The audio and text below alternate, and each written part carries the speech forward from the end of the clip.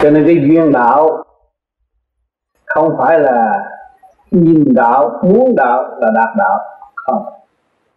Nhìn đạo, muốn đạo, thử thách đạo, hỏi đạo, bỏ đạo, tự nhiên ngộ đạo. Trên con đường tu của mọi người đều vậy. Cho nên các bạn đi vô học cái phương pháp phương pháp được ban đầu thử coi thế nào. Rồi hành coi thế nào rồi bị kích động nhồi quá rồi. Thế mình can bỏ nó. Không bỏ nó rồi, đương nhiên, tự nhiên không muốn, không gì hết. Cái cầm. Biết đạo đó là nó nằm ở đâu? Nó nằm ở trong sự thanh tịnh của mọi cá nhân. Rồi biết gọt rửa, tới thâm tâm là đường gì? Đường đạo là thanh tịnh. Cho nên mỗi người muốn đến đây học đạo, trước hết ai cũng tới nghiên cứu. Tâm lý của mọi người đều như vậy. Nghiên cứu thử cái đám này nó ra sao? Rồi hỏi người này, hỏi người kia thế là không có người nào ra gì hết. Tưởng mình là cao. Thì mỗi khi mà ta đạt đạo bên trong thâm tâm, người ta không muốn khoe khoang và cũng chả muốn nói gì. Chỉ chào, hỏi, nói sơ, nói chuyện đời thôi. Thì nhiều người hỏi qua hỏi lại, thấy cũng chả có gì. Không cái gì là đạo giá trị của đạo không biết. Nhưng mà qua những cơn thử thách rồi, tâm thức ăn không được, ngủ không được, muốn tìm ra một chiều sâu của đạo là cái gì, thì tự nhiên trong đó nó sẽ bộc lộ. Tự nó bộc lộ, đó là đạo trong tâm của chúng ta. Không phải đi đâu xin, không phải đi đâu mượn, không đi đâu nhờ đỡ. Cho nên cái pháp là một cái phương tiện để gọt rửa những sự trần trượt tâm tối của nội tâm, mà để lộ diện sự thanh cao trong nội tâm ta. Cho nên mọi người tu, ta phát tâm là phải hy sinh tánh hư tật xấu. Mà càng hành hy sinh tánh hư tật xấu, thì cái đạo nó càng lộ trong chân tập còn nếu mà chúng ta cứ khư khư ôm cái tánh hư tật xấu, mê chấp, nói đạo mình tu về mà họ tới họ chê, họ khinh bỉ, họ nói đạo này không tới đâu, không biết cách dạy, đủ chuyện hết rồi mình đâm ra chán ngang chán chán ngang. Mà khi thật mình là không biết dạy mình. Mình không biết khai thác mình. Có phương pháp chỉ cho mình để tự khai thác mà không chấp nhận và không chịu học hỏi để tự khai thác. Thì mình chi trệ dù bây giờ có chạy đi tìm đạo nào đi nữa, nó cũng vậy. Đạo nào mới thiệt mới, cũng vậy. Có những đạo nói bây giờ tôi đập đầu anh này, tôi mở bộ đầu cho anh nói vậy thì khoa học bác sĩ cũng làm được rồi. Không phải cái chuyện như vậy. Có cái tâm của người có tâm đạo hay là không? Có tâm đạo hướng dẫn họ chút xíu thì họ cũng được mở bộ đạo. Còn không có tâm đạo bây giờ lấy búa tạ đập nó cũng vậy đó thôi.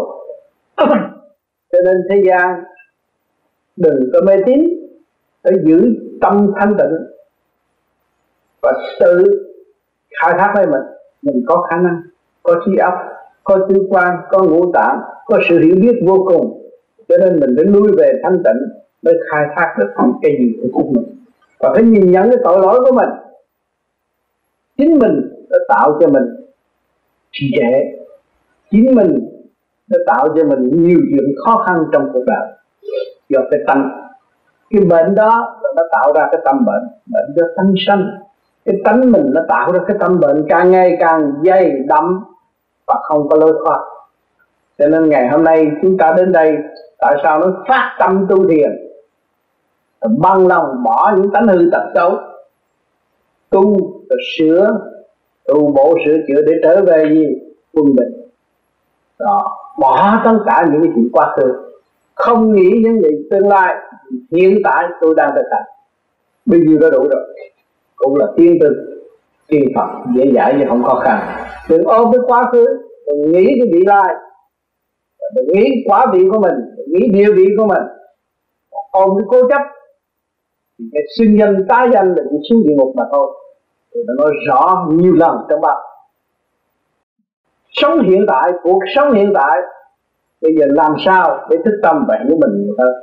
Càng hiểu mình, càng hiểu thượng đế, càng hiểu mình, càng hiểu chúng sanh càng hiểu mình, càng hiểu sự tinh vi của bản linh nó đóng góp.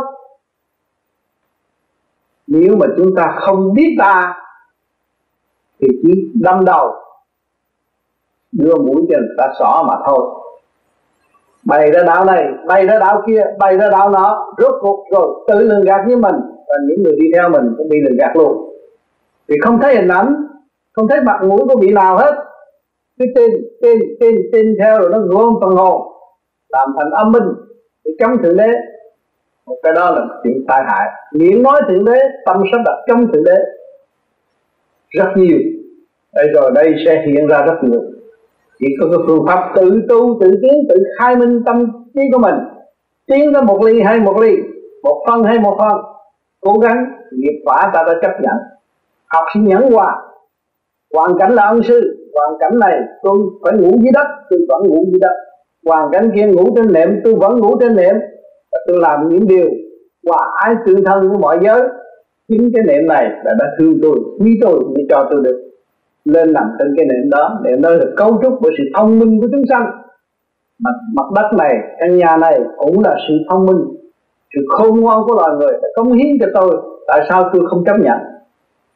Đứng hoàn cảnh nào cũng chấp nhận để tiến để tu mới là con người tu không phải là tới chùa mới tu, tới nhà thờ mới tu, ôm kinh thánh mới tu. Nhưng mà tâm ta phải tu trước, rồi chúng ta đọc mấy cái đó, ta đến mới cái nơi đó, chúng ta thấy thấy cái ý nghĩa sâu xa đóng góp của loài người. Dễ gì cất căn chùa, sự thông minh của loài người. Trước đó muốn đem lại một cái gì tốt cho học viên. Dễ gì cất nhà thờ cũng vậy, sự đóng góp thông minh của loài người. Và do đó là bề trên đã ban sự sáng suốt và lập tập cho họ có cái hạnh hy sinh đóng góp để kết thành cái nhà thờ. Cho nên chúng ta, cái tâm không lành, tới nhà thờ cũng kỳ thị, tới như chùa cũng kỳ thị, tới chỗ tu cũng kỳ thị. Rồi tự gạt hai gạt hai là cái gì? Gạt hai là sự tâm tối của chính mình. Không hiểu mình là ai ở đâu đến đây rồi sẽ về đâu mà còn kỳ thị người khác nữa? Thử hỏi rối ren còn rối ren thêm. Bó buộc còn bó buộc thêm. Tự đóng khung một nơi mà không có phát triển. Cho nên người muốn tu phải có sự phát tâm. Và tự nhiên nó ý thức, trong tự nhiên nó ý thức nó luôn tu. Tu cái làm có người nên tu để cứu đời. Tôi muốn tu để gọt bỏ những sự phiền não sai quay tôi muốn tu để độ cho cha mẹ tôi được bình an. Lòng hiếu từ của mọi người đều có hết thảy. Cho nên chúng ta thấy rằng cái sự tu không nên bắt buộc và không nên rủ ren tự nhiên họ phát tâm. Họ hỏi rằng, anh tu sao? Ngày nay mặt mày anh được đỡ, tâm trạng anh được đỡ, sự hổ ảo anh bị biến mất. Thì kẻ hung quá hiền thế nào cũng có người đến làm quen với chúng ta và hỏi chúng ta. Thì lúc đó chúng ta mới nói rằng, tôi nhờ cái pháp này tu như vậy và như vậy. Chứ không phải tôi dạy anh. Tôi đã hành như vậy. Nếu anh muốn hành như tôi thì anh phải dày công như thế đó. Qua những cơn khảo đảo như thế nào mình cũng phải nói luôn. Chứ đừng nên tu như vậy rồi thành phật phải tu như vậy rồi thành tiên. Nói như hại người ta. Chặt lắm vì hình nuôi cái tham muốn và họ vô họ tu họ tu không được. Còn mình nói thực trạng của hoàn cảnh mình bước qua từ giai đoạn một ngày hôm nay tôi được như vậy tự nhiên nó đủ rồi. Cho nên tôi cũng van xin tất cả những bạn đạo khắp thế giới đừng có nói thêm và cũng không nên nói bớt. Trước khi tôi chưa tu tôi kỳ thị tôi vô tôi thấy ông tám không nghĩa lý gì. Ngày hôm nay tôi càng ngày càng tu rồi tôi thấy ông tám gánh vác. Gánh vác ở chỗ nào thì tôi bước vô tu rồi, tôi thấy những chuyện khó khăn nó đến với tôi tôi giải quyết không được. Nhưng mà cả trăm, cả ngàn chuyện khó khăn đến với ông tám ông tám chỉ giải quyết tức khắc là nhờ cái hạnh tu. Cố công tu hành đêm tu, ông mới được thanh nhẹ và nói gì. Bây giờ tôi tới, tôi không bắt trước cái đường lối của ông đi, không bắt trước được đường lối lối của ông đi, thì thôi chứ tôi không có cách nào mà có thể phát triển được. Cho nên tôi phải bắt chước con đường và tôi phải lập cái hạnh như vậy, tu như vậy, tôi mới đến được. Cái kiên nhẫn sẵn có của tôi mà tôi có thể làm, tôi phải cố gắng làm. Nhưng mà luôn luôn nó có trồi sụp. Cuộc có thuận nghịch, cho nên tôi phải chấp nhận cái trồi sụp thuận nghịch để tôi học cái bài trồi trồi sụp. Thuận nghịch của tôi rồi, tôi mới tiến tới thăng bằng quân bình để tiến tới. Cho nên các bạn tu phải nhìn cho kỹ, xét cho kỹ trước khi mình hành. Thì cuộc đời còn lại không có bao nhiêu năm. Mà nếu vô cái tu, ẩu thấy người này tu cái kia tu, tôi cũng bắt chước tu mà không biết đầu đuôi rồi ra nói dốc. Hại thiên hạ, chứ không có lợi bởi vì đây là rất tôn trọng con người.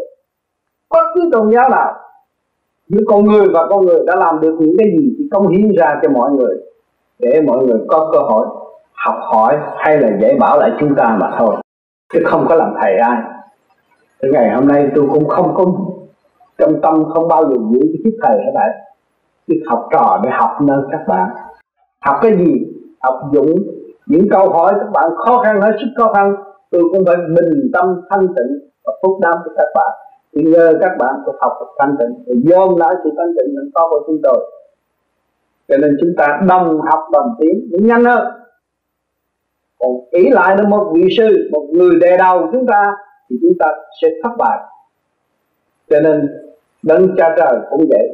Kêu các con phải nhớ cái tâm các con. Tâm con là tâm của cha. Con khổ cha khổ, con sướng cha sướng. Phải nhớ cái câu này. Cho nên bề trên đã sướng, đã thanh thoát, là sau cơn khổ thanh thoát, nhìn lại chúng ta đang bơ vơ tại trần. Chia năm sẽ bảy trong tâm à, trên cõi siêu nhiên thấy chúng ta không có ứng hiện được trọn lành.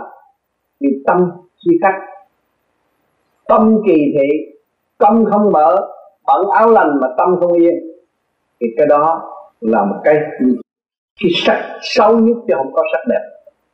Lúc gian làm còn đẹp hơn đẹp hơn bây giờ nhiều. Bây giờ hướng thượng mà hướng cái cách kêu bằng chia rẽ. Tôi quen thượng đế tôi làm ông này ông nọ tôi có chức vị cao hơn tụi nó kỳ thị tụi nó. Là tôi vẫn cái ông rất trình diện với ông thầy. Là thượng đế. Cho nên không nên suy danh và tá danh. Phải học hỏi nữa mọi người. Thả mình xuống. Để đưa thanh điển, phóng từ điển cho chúng sanh. Để từ từ nó hiểu nó. Đó là lầm nhục của chị thi chị thanh chúng ta thấy rõ những ngài tu cao thanh tịnh, luôn luôn xuống hạ mình của chúng có thể hy sinh làm con chim, con chó, chết một cách đi thảm và cảm động những người nào mà có tâm. Đối với loại thú, ngài cũng dám hy sinh để độ trong giây phút đó. Cho nên chúng ta có biết được cái phần hồn chúng ta là vô hình vô tướng cố gắng tu trở về nơi đó. Trong sự thanh sạch đó, tương lai cái tận độ chúng sanh, thể hiện bất cứ trường hợp nào. Cho nên những vị tu cao đã nói rõ rằng, thượng đế là gì? Có người nói thượng đế là đông phân. Nhiều người kính trọng thượng đế giận lắm. Thượng đế mà đông phân, chính thật, ngài là đông phân ngài giữ cái luật quá quá sanh sanh không ngừng nghỉ để cứu độ chúng sanh. Cây cối hoa quả không phân làm sao phát triển được. Cho nên cái quyền năng vô cùng của ngài, nhỏ nhất của ngài và lớn nhất của ngài. Chúng sanh đã có hai tôi thấy hàng ngày tiếp xúc với ngài mà không hiểu ngài. Cho nên chúng ta tu đây rồi, chúng ta hạ mình xuống. Nhị nhục tối đa chúng ta mới thấy rõ. Rồi chúng ta mới hành động như ngài. Khi chúng ta nhịn nhục nhiều chúng ta có cơ hội cứu độ nhiều. Mà nhiều nhục ít, không có cơ hội cứu độ. Tự tạo vút mắt cho mình và tạo vút mắt cho đối phương tạo bệnh nan y tại thế. Nó tràn lan ra cũng như dịch hạch. Ở trong gia đình có một người nắm tánh mà giận dỗi, không tha thứ người khác. Rồi bắt nó thét thét rồi bắt trước từ trong nhà, bắt trước ra với xã hội, cũng như cái bệnh dịch hạch mà người nhịn nhục rồi. Thì cái gia đình nó cao quý biết là bao thương vợ thương chồng con cái vui hòa thấy sự sang suốt của bề trên đang ân độ và chính nó là sáng suốt của xã hội. Chỉ biết là đang nhịn đi nhịn đi để làm một điều lành. Nhịn đi để làm một điều tốt. Nhịn để làm một, điều, một đại sự. Mình nhịn trong thế nào. Nhịn thế minh cho nên chúng ta đâu có cái pháp dễ nhịn bữa nay tôi giận hờn, mai tôi tu không được e ạch rồi tôi bớt giận hờn, tôi thấy tôi làm pháp luân được. Bỏ hết giận hờn, tôi làm cái dụng ý làm pháp luân thường chuyển như chạy đều trong còn thân thôi nó sung sướng vô cùng là nhờ cái thân tâm nhìn được tôi mới có cái đó còn nếu mà tôi nói tôi ghét thằng này, giận thằng kia, đó mà hít vô bạn thử rồi họ gạt bạn 10 đồng mà bạn cứ nhớ 10 đồng hoài để đố mà bạn bạn hít pháp luân thường chuyển được. Cho nên tôi có đem những bạn tu mà nói được tôi sẽ trường chay pháp luân thường chuyển được. Giữ lắm tôi đem đi coi casino. Tôi với nó hùng hai ngàn đô la mày đánh. Xuống đánh đi. Con, con, con cờ bạc con chợ mà ngon lắm mà không có sợ. À, đi. Thử liền thua hết hai ngàn, vô hít thở không được. Pháp luân không được, mà như minh cũng không thông. Đó, thấy chưa? Thấy cái tài của con nó chưa à. tài ở đời cũng có, mà tài của đạo cũng không. Cho nên người tu phải có thử. Thử mới thấy. Cái tu đừng có tìm đừng có tìm xui đâu. Thử rồi, mới thấy rồi. Bây giờ ruột gan lộn xộn hết hít thở không được. Vì cái gì? Vì đồng tiền thì tâm con hướng ngoại đâu có hướng nội. Nếu tâm con hướng nội thì mấy ngàn đó ăn chung gì? Của trời trả cho trời, còn tâm của con không phải giữ. Nhưng mà không sao không không sao khôi phục tất cả được. Phải lâu lắm mới khôi phục được. Cho nên có chỗ thử, chúng ta tu trình độ nào nên thử để biết cái trình độ tu học đến đâu chứ để chi tiên chi Phật nói rồi, mấy ông nó mới dốc chứ kỳ thật chúng ta còn ô trực còn chậm trễ, không có thực hành được, không có lấy động làm tịnh được. Cho nên tu cho đến lúc dừng, lấy động làm tịnh lấy người làm rừng. Thì lúc đó nhà tháng kết thúc vô vi phải thực tế, lấy người làm rừng mà lấy động làm tịnh tâm thức lúc nào giải thoát cho nên vô vi phải thực hành. Cho nên một cuộc họp nào của bạn đạo vô vi đều đúng đắn. Thực hành. Để thử tâm thanh tịnh. Và để đi tìm thanh tịnh để nó học đạo. Cho nên mình giữ được thanh tịnh rồi, mình mới quan độ được nhiều. Và khi mình không tịnh, thanh tịnh thì mình cứ cho nó nổ đi. Nổ rồi là nó phải tịnh. Mình phải thấy cái hay cái quyền bí dạy đạo ở bên trên. Chứ không phải là người đó nói hay. Nhưng mà có, ở bên trên có đang chiếu cho chúng ta, mỗi người chúng ta đọc học chứ không ai giỏi ngài hết. Trên cuộc họp của vô vi khắp thế giới đều đúng hết á. Nhưng mà tôi cứ nhắc hoài, cứ nhắc hoài thì cái ông mà thua rồi ông gì, ông thiền rồi ông phóng điện cho mấy người kia. Mấy người này cũng thiền phóng điện trở lại. Thế là cái điện tự nhiên nó tròn lại anh em là một. Nó hay hay ở chỗ đó. Cho nên nhiều người nói tại sao những cuộc họp của Ruby gây lộn quá chừng mà đạo gì? Nhưng mà đó là đạo. Nếu nó không tháo gỡ ra không dùng cái kỹ thuật nó tháo gỡ ra nó không có tiếng và nó hấp hoài hấp hoài hấp hoài hấp hoài gây hoài nhưng mà nó vui. Thương yêu nhau. À, rồi lần lần đi tới đồng đều rồi sung sướng như cả ban anh em khỏi học vô ngồi để nhắm mắt. Trao đổi bằng thanh quan trao đổi bằng điển ngồi xuống là nó bực mở bừng sáng nội tâm ra. Quy hòa với cả càng không vũ trụ. Anh em là một cái lòng tự ai không có này không thấy cái của của ta nhưng của của trời cái nhà nhỏ này mọi người đều đồng lòng tu thì đâu có thấy cái của của, của chúng ta, của của cha. Cha cho mình mới có cha không cho chúng ta không có cơ duyên học ở đây. Cha cho mình có thật sự là vậy. Chứ một người này giận người kia, hai người ở trong đám người này mà giận nhau á, là mấy chục người này không yên được. Cha cho mới yên ổn, nó thành cho nên cái con đường tu học nó khác hơn của đường đời. Đường đời phải lợi dụng vị nể người này vị nể người kia vị nể người nọ mới có sự an. Phải nịnh bợ mới an. Có cái cũng phải đánh lộn nó mới an. Đâm chém nó mới an. Đó, cho nên chiến tranh là này kia kia nọ ở thế gian đều là chân lý dẫn chiến tâm định nhưng mà học rồi thì phải hoàn cho nên chiến sự nào cũng có hồng thật tự hết. Không có hồng tự không được.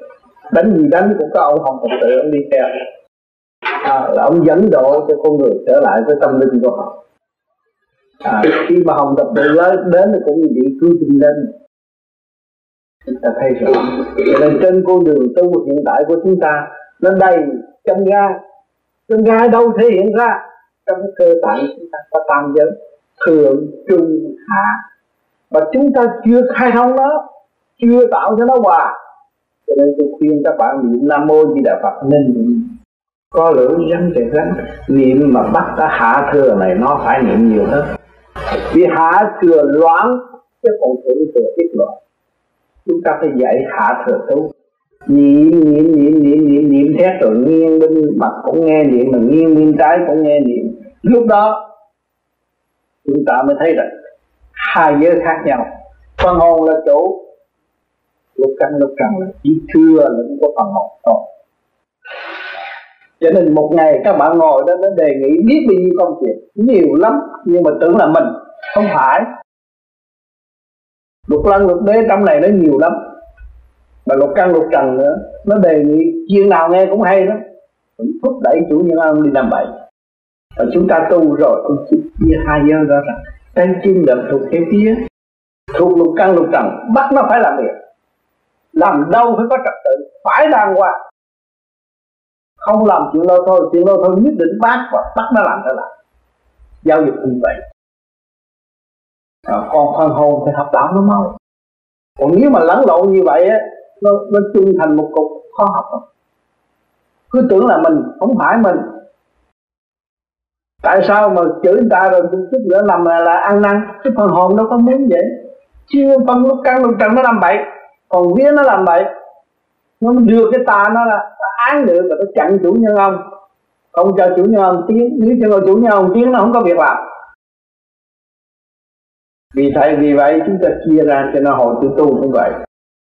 Từ hồi nào giờ tôi ra đời, nói ở trong hoàn cảnh tôi cũng sung sướng, không có cái gì khổ. Nhưng mà tôi chưa giặt cái áo, tôi chưa rửa cái chén, chưa làm. Từ lúc tôi tu thức giác rồi, rửa chén, giặt áo cho tất cả mọi người trong nhà, chùi đất làm hết đến người thấy lạ, tại sao? Thằng này nó làm gì? Dữ lên. Bắt nó lại hỏi bắt ai? Tôi đang bắt nó, tụi nó làm. Ở nhà tự tôi điên. Tôi đang bắt tụi nó làm. Hết. Tất cả mọi công chuyện, mấy người ngồi chơi, làm. Tôi làm hết. Làm nhanh, làm đàng hoàng, trật tự. Quần áo của ai cũng sách đem giặt. Còn nào giờ đâu? Không có ở Việt Nam thường bước ra là đi xích lô. Đi đâu cũng phải đi bộ. Cấm hẳn cái chỗ giàu sang không được bước vô. Hành khổ đi bộ từ chợ lớn xuống đa cao, nghe ông tư giảng có mấy câu, mà phải chờ ngài quách mới vô, chứ còn đứng ngoài gốc cây không dám vô nhà ta. Nghiêm định nó vậy rồi nó phân ra nó giáo dục. Lúc đó tụi nó mới quy hạ còn nếu mà chúng ta không phân ra như vậy không có thấy cái nội bộ. Khi không thấy nội bộ rồi ù ù ra binh một căn lục trần rồi nó lầm. Khi nó đưa cái nóng lên, mình biện hộ cho nó luôn tưởng là mình kẹt luôn. Không chia nó ra. Từ đó mình suy suy vậy còn phần hồn chúng ta bao suy vậy cho nên mỗi khi mà mình gầy dày la rồi tối mình ăn năn phần hồn không có làm cái đó. Tại vì tụi nó làm cái đó. Cho nên càng ngày càng tu, càng mở trí và các bạn phải nghe những cái gì tôi đã hành, tôi đã hành như vậy, kết quả như vậy. Khi tôi có lệnh thì mình mới dám làm, không có lệnh không dám mình không chia rõ sạch. mình nuôi con chó mà con chó ra ngoài đường cắn người ta, mình cũng chịu trách nhiệm. Mà mình nuôi lục căn lục trần ở đây là những tim gan tỳ tế thận, mỗi một bộ phận 250 vị tỳ kheo tổng cộng 1250 vị tỳ kheo mà chúng ta không giáo dục cái tâm này nó loạn. Một cái tiểu thiên địa, một cái tiểu quốc gia mà không giáo dục nó là nó loạn. Trong cái xã hội, trong cái nước cũng vậy. Thượng bất chánh hạ tắc loạn. Chủ như ông không đàng hoàng nghiêm trị, thì dưới nó lộn nó lộn xộn. Cho nên tu thì phải học cái trật tự đó. Cho nên các bạn làm một việc cho tất cả mọi việc ở tương lai. Là để cho nó quán thông ba cõi thượng trung hạ là một. Do lĩnh cái phần sáng suốt điều khiển cho dưới này không được điều khiển thì con người không bao giờ làm vậy cho nên tôi đã nói rằng tự tu tự tiến, cái pháp này các bạn nắm được thì các bạn cứ tu. Mà nghe những lời mà tôi đã thực hành các bạn làm như vậy, đúng y không sai. Rồi các bạn sẽ tiến. Còn nên các bạn dốt và tôi không biết văn chương tôi không biết này kia kia nọ. Làm lại trật tự rồi có thể văn chương các bạn ra thế nào? Không có thua người học giỏi ở đây. Cái thông minh nó vô cùng. Khi thơ dồi dào, Lúc nào cũng cởi mở chứ không có bị kẹt động nữa. Cho nên phải thực hành trong cái phương pháp ý chí, cương quyết giải tỏa những sự phiền những sở ra quay trong nội tâm mới giải được cái nghiệp tâm. Nếu chúng ta vun bồi nghiệp tâm, vun bồi tự ái, thì càng ngày cũng như con trâu bị sao mũi chúng ta kéo đi thôi cái năm tâm hại mình, làm cho mình càng ngày càng sai quay rồi ăn năn hối hận. Tiến tới một bước lùi ba bước, vô ích. Đã rốt ráo thực hành thực hành cho đến nơi. Không nên bỏ bỏ bỏ lưu lỡ dở của một chiếc người phần tuổi còn lại không có bao nhiêu. Dài ba chục năm nó được sụm hết rồi bây giờ không lo tới lúc đó, muộn rồi lo không được cho nên các bạn phải ý thức rõ, tôi nói cái gì, tận tâm, tận tình, những gì tôi đã thực hành, tôi nói. Ngoài cái tôi chưa thực hành. Kiểm chứng đạo ạ con người của chúng ta người nào cũng có quyền sửa trở nên người tốt, trở nên người hiền, trở nên người hữu ích. Thấy đó nhiệm vụ chúng ta đến đây để làm. Rồi sẽ trở được thành thật. Cảm ơn các bạn cho nên cái người số tóc đã ý thức trọn lành con đường đi của chính mình. Phải giữ luôn luôn. Thì cái mái tóc xanh khuyên nhủ. Và chúng ta từ bỏ sự khuyên nhủ và trở về với thực chất của chính mình. Cứ ôm lấy nó, ôm lấy thực chất sẵn có của chúng ta. Vững tâm vững chí hành đạo trước sau cũng có cơ hội đạt được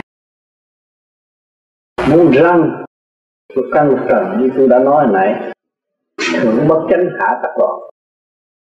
Bây giờ chúng ta xuống cấp, tất cả những cái gì chân chánh đã áp dụng, ngoài lời chân chánh không áp dụng từ bi làm sức mạnh. Phải nhớ, ta và cả không vũ trụ là không chấp, không mê. Mở tâm, mở trí. Đón tiếp vạn linh trong chương trình tiến hóa cho nên nhiều người tu cũng còn chấp. Có cái món ăn chấp mà không hiểu cái hạnh hy sinh Bồ Tát của cộng câu cộng rau tới miếng thịt. Khi ta ăn, ta phải nghĩ tới nó. Nghĩ nó đã hy sinh để cho chúng ta ấm no chứ không phải cái hãnh diện ấm no này là hơn vô thú đâu. Chê đó là vật vô tri. Nhiều người ăn rau thế đó là vật vô tri, nhưng mà nó đang hữu tri, nó hy sinh cho mình ấm no. Các bạn ăn cây đó, vạn linh nó đang hy sinh cho các bạn ấm no. Nó ăn vô không ấm no, các bạn nó không các bạn bồ tát của nó, con thú cũng vậy nó muốn hy sinh được tiên hoa. Thấy rõ chỗ này chúng ta ta phải chuyện cho nó. Tại sao nó làm con thú nó là anh em của chúng ta tại là nó làm thôi. Mà tại sao nó nguyện hy sinh như vậy? Để cho chúng ta ấm và nó vào với chúng ta chúng ta càng cố gắng tu hơn hành thiền nhiều hơn. Để đưa nó lên tình số nguyên căn thực chất của nó. Thay vì nó bị bơ vơ và nó không có biết cơ cơ hội trở về với nguyên căn cho nên ta có cái pháp luân thường chuyển để hóa giải và khai thông đường đi cho ta và cho con thú hay là cộng trần cái đó, thức trạng pha mê pha trận chúng sanh không hiểu. Tôi ăn cái này, nó không có tội. Tôi ăn cái kia nó có tội. Kỳ thật cái nào cũng có tội. Ăn mà không hiểu. Hạnh hy sinh của bản linh là có tội ăn mà hiểu hạnh hy sinh, nó hy sinh cho chúng ta ấm nó mà chúng ta quý nó và sanh nó là ta. Cho nên cố gắng tu hơn để đem nó đồng tiến với chúng ta theo trình độ sẵn có của chúng nó và trình độ của chúng ta. Thì không có sự kỳ thị giữa hai bên.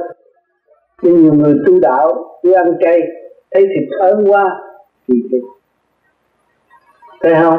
Nó bị bơ vơ nó bị lôi cuốn bởi một số người không tu, không hiểu đạo, không hiểu chân lý, mà ăn nó rồi đem nó đi đâu. Cũng tội nghiệp. Cho nên những người tu không nên chấp. Ở giới nào cũng được hết, nhưng mà về phải lo là pháp luật phải khai mở, dẫn tiến, tất cả. Cho nên cái pháp này là trời đưa xuống để rút chân linh đi lên. Cho chúng ta hít vô, nó đi vào nhiều trì kim mẫu cũng phong điểm sinh cho nên nhiều khi ở chùa bà, người ta cũng cúng heo cúng gà cúng thịt nhưng mà điển của mẫu phải là cái mẫu không có đòi hỏi anh mà. Nhưng mà cũng chả có đòi hỏi cung chay. Chỉ đòi hỏi chân tâm của bạn lên mà thôi. Thành thật là được. Nhưng mà cái chuyện kia bằng nghiệp sát ở thế gian là đương kim đương nhiên phải có. Đó là luật trình trị của luật pháp. Chính nó muốn cảnh đó thì nó phải thọ cái người đó. Và chúng ta làm người, chúng ta cũng phải thọ. Cho nên mấy con thú thọ nghiệp sát của tôi không bị nghiệp sát bị bị còn nặng hơn con thú nữa. Con thú đâu có biết nghe, ai chửi mắng đâu. Chúng ta bị người ta xé từ sơ thực chửi mắng hành hạ nhìn kỹ lại các bạn làm cha làm mẹ, khổ hơn con thú. Từ nhiều khi nó nhỏ mọn hơn con thú dành dụm cái này dành dụm cái kia những cái nọ để cho con. Nó sanh ra cái chỗ tranh chấp vô lý rất nhiều. Và cái tánh tình cũng khác gì con thú. Cho nên chúng ta người tu, chúng ta phải hiểu như này chúng ta cũng đồng có cái nghiệp như nó đúng không? Con rau cũng có cái nghiệp của nó xuống cho nên 72 32 36 ngôi sao thiên cương chiếu xuống thế gian, nó biến thành 72 ngôi sao địa sát. Ở đây là sát để tiên thì chúng ta đây cũng đã bị sát để tiên dung bồi rồi cắt đứt. Dung bồi tự ái rồi cắt đứt. Dung bồi tự ái rồi cắt đứt. Mới có tiên sát biệt nghiệp sát rõ ràng. Từ nhỏ tới lớn nuôi cái tự ái rồi bây giờ tu cắt đứt lấy cái gương tình thương của thượng đế cắt đứt nữa. Cũng là sát. Nếu không sát không có tiến hóa lên trên cho nên cái chuyện mê chấp của thế gian phải có. Nhiều người thấy thì hiện tiền ôi sao, sao ông ăn con heo. Tại sao không ăn chay thì cho lấy cái dao cắt cọng rau thế nào? Nó có gia đình, nó có sự sống không? Nó có tiến hóa không? Không hiểu cho ta. Hai cái là một. Mà ta với nó là một. Khi ta ăn có nghĩa ta với nó là một. Thì mới có cơ hội đầm tiến. Khai mở tâm linh cho nhiều người ăn không biết. Tính tôi sung sướng mà. Tôi ra tới đây tôi phải nhậu nhẹt. Cho nó mạnh khỏe thì nó nó mạnh khỏe rồi làm gì? Khỏi chết. Phải chết lực lượng được phong phú vitamin cho đầy đủ rồi sao cho nên chúng ta ý thức được căn cội của mọi sự việc. Thì mới có cơ hội quan thông lấy mình, thấy mình đã ở đâu đến đây rồi chúng ta đang thọ cái nghiệp gì. Và chúng ta phải chấp nhận mới có tiền nếu mà chúng ta nghịch lại là không bao giờ phải chấp nhận với chuyện. Cho nên, nhân cái đó cũng tạo cái cơ hội như vậy. Và lấy tư vi làm sức mạnh, tâm luôn luôn cứu độ, không phải hướng thụ. Đừng nghĩ chuyện hướng thụ.